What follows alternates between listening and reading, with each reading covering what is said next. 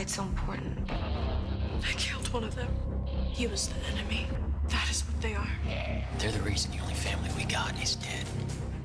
We're working to stop the monsters and to save people from turning into monsters. If we don't hold the line, we could lose everything. Go, go, go! This is war.